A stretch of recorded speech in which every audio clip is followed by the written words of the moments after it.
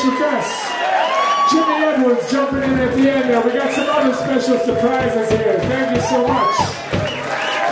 I don't feel like I'm 70 years old.